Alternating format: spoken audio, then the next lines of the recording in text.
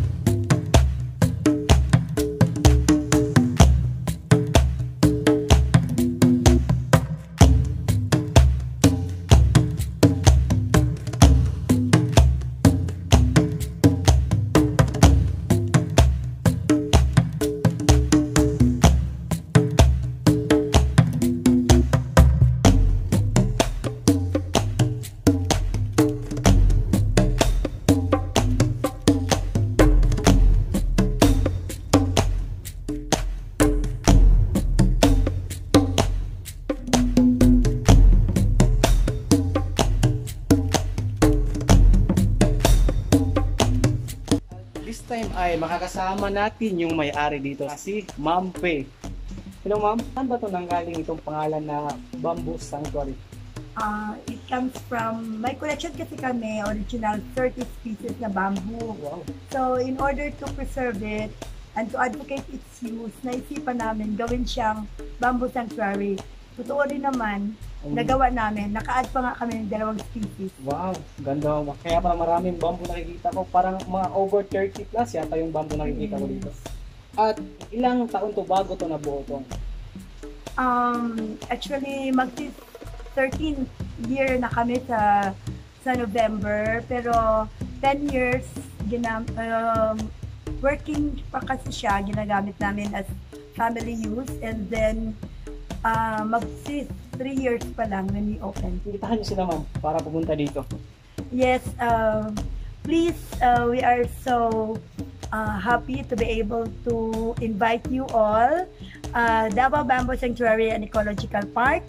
Uh, try the yung bonus ng nature, yung breeze and the oxygen and carbon um, cycle ng bamboo and the cool spring of our ah yung water ng aming pool and we guarantee that you will have a very good chillax experience. And stress reliever. Oh, yes sa po. nature. And we have also good food. Um, Wow. We have a restaurant. Please come. And, and ma'am, thank you ma'am. Maraming maraming salamat. At dahil nakarating din ako dito ha.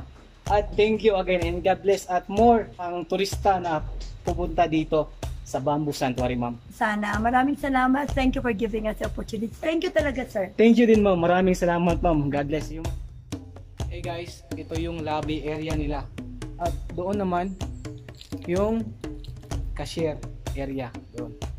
Tara, libutin pa natin ito yung iba.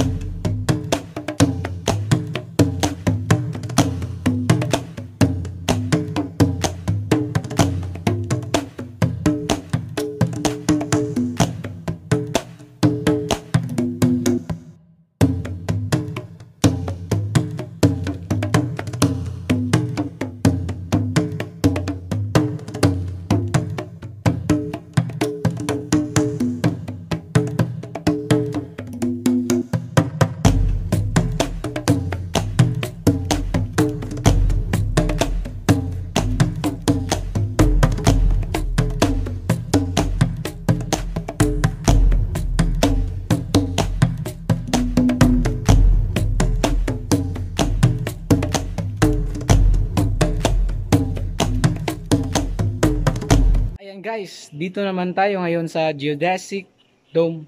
Tara, at puntahan natin sa baba. By the way, Glenn, ano pala itong Geodesic Dome? Hi guys, ah geodesic dome, tinawag siyang geodesic dome dahil nakikita niyo po yung structure dito sa dome. Ito po ay combination ng isang triangle at saka octagon. Kaya hindi niyo makikita yung malaking bakal doon sa ibabaw dahil sa combination na yun. Kaya tinawag siyang geodesic dome. Isa kayong geodesic dome, isa sa pinakamalaking geodesic dome dito sa Davao.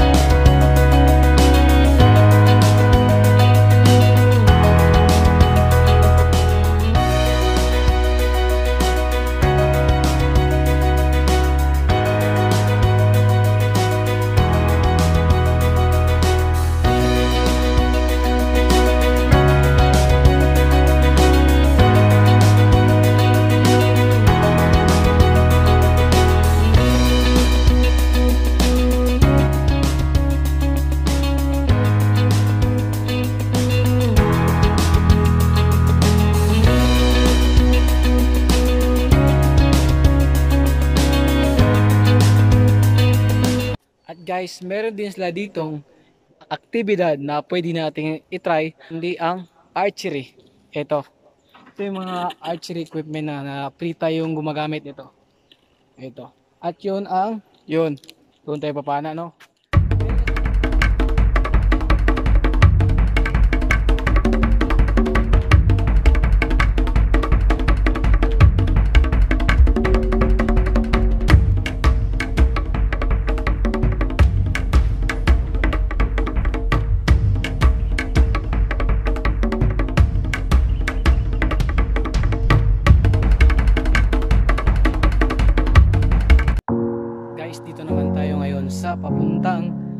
Aktibidad ng kayaking at fishing at ito ring way na papunta doon sa function hall. Tara, puntahan na natin yun. no?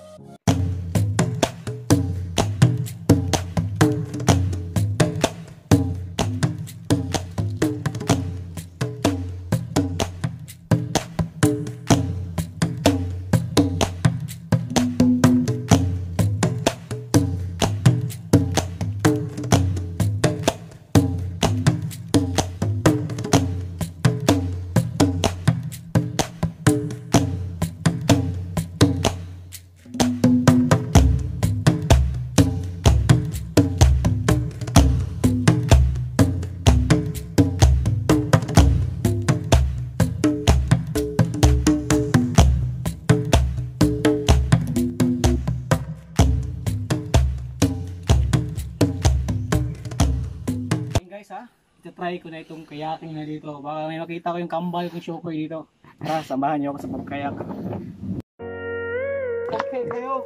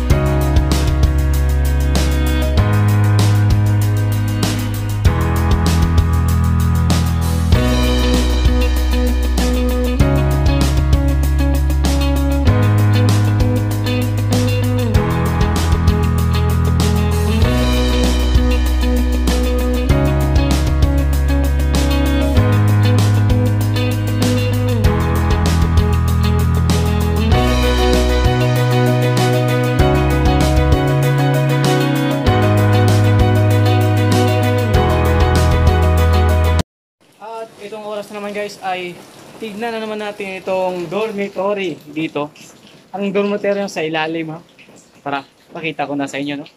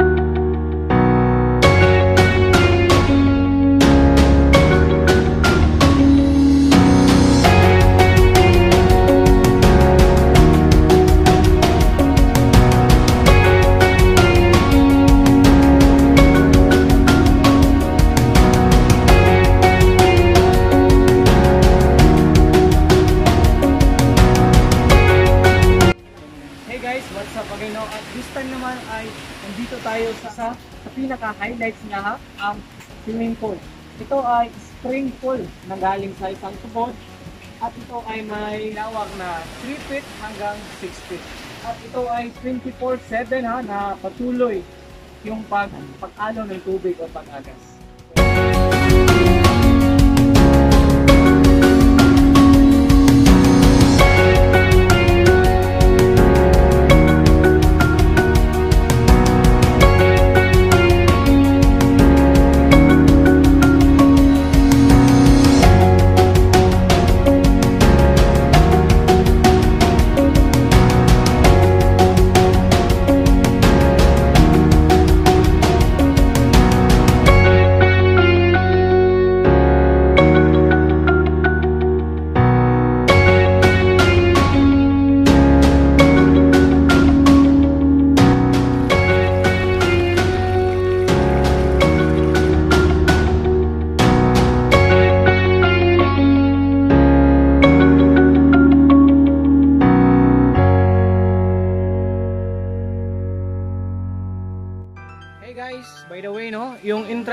Dito, kapag 1 to 3 years old ay free. Tapos 4 to 10 years old is 150 pesos. At yung adult naman ay 250 pesos.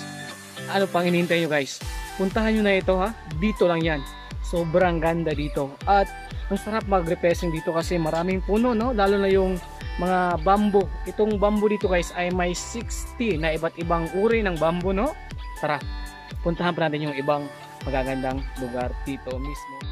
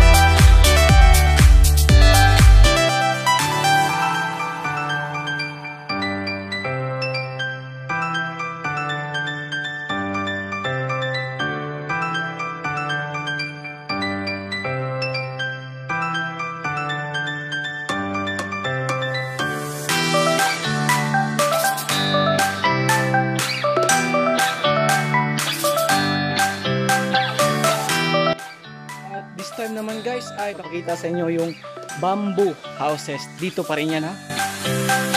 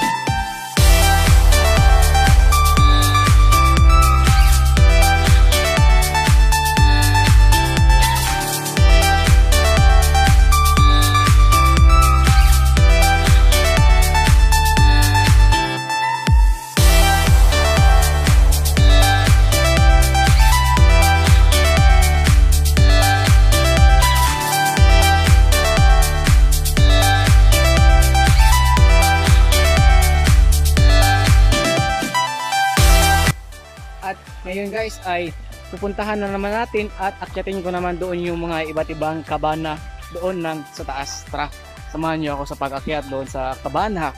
Iba't ibang magaganda siguro yun, no? Hindi-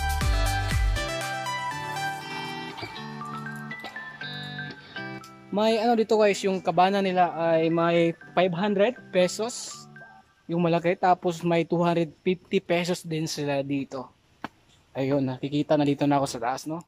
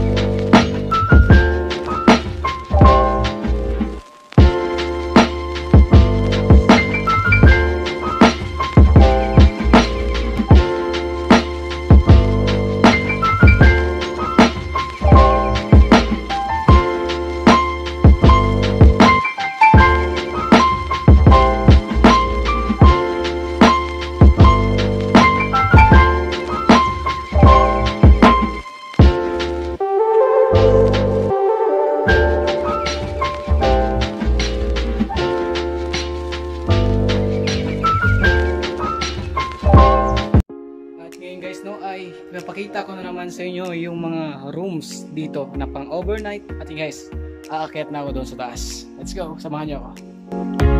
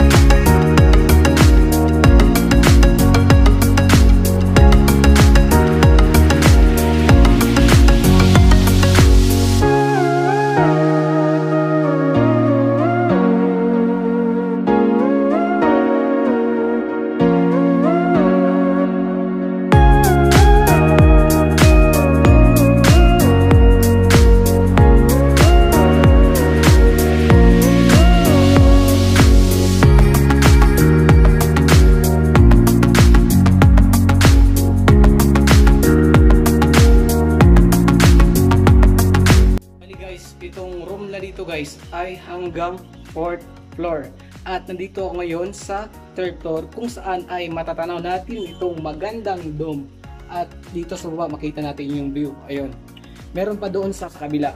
Sobrang ganda din doon kasi matatanaw natin yung iba't ibang mga dahon, yung mga puno sa kabila. Ayan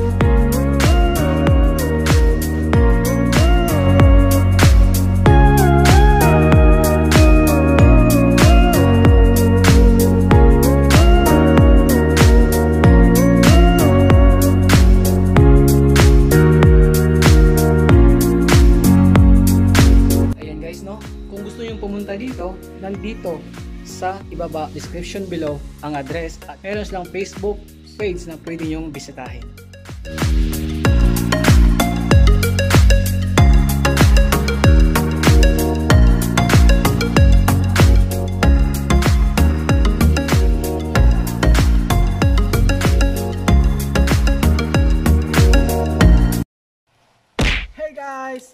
Guys, and welcome again no, dito sa aking channel. At ayan guys, ay dito na nagtatapos itong pagtutur ko sa inyo dito sa Davao Bamboo Sanctuary. Dito lang yan matatagpuan sa Malagos. Malapit ito sa Philippine Eagle at Malagos Garden Resort. At ayun guys, kung nakikita nyo, maraming gandang lugar dito na pwede kayo kahit pamilya, barkada, magjowa, pwedeng pwede kayo dito. Mag-refresh kayo ha. Stress reliever itong lugar na ito. At ayun guys, dito na rin nagtatapos itong video na ito.